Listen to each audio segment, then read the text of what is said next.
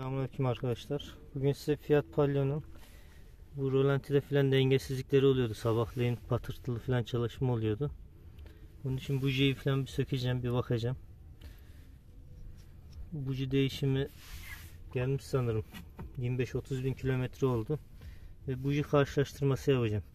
Geçen seferki değiştirdiğim buji ile bunu karşılaştıracağım. Bir tanesi NGK'nın bujisi. Önceki söktüğüm. Bu da Magnet Marelli'nin bujisi. İkisinin çapına bakacağız arkadaşlar nasıl. Öncekinde bir sıkıntı yoktu NGK'da. Buna bakacağız.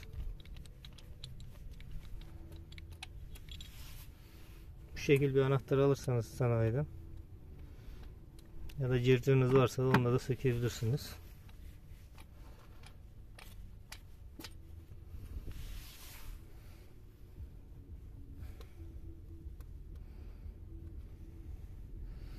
Bujinin ucu bayağı sararmış. Şu yanlarda ezilmiş. Şekli biraz değişmiş arkadaşlar. Şey odaklarsa kamera.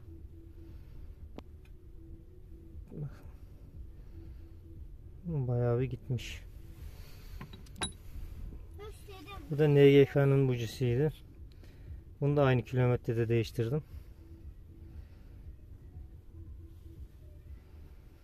Bunda bir şey yok.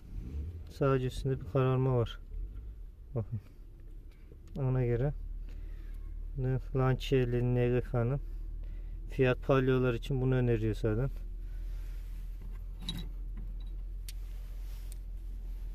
Bak şöyle koyayım.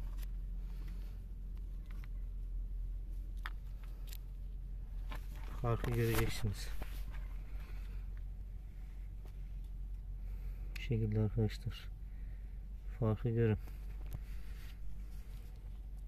NGK'nın bu Magnet Marelli'nin. Şu NGK'yı daha çok öneriyorum arkadaşlar. Yakıtta daha çok tasarruf yaparsınız. Çekiş kontrolü falan daha güzel bu bicinin. Evet izlediğiniz için teşekkürler arkadaşlar.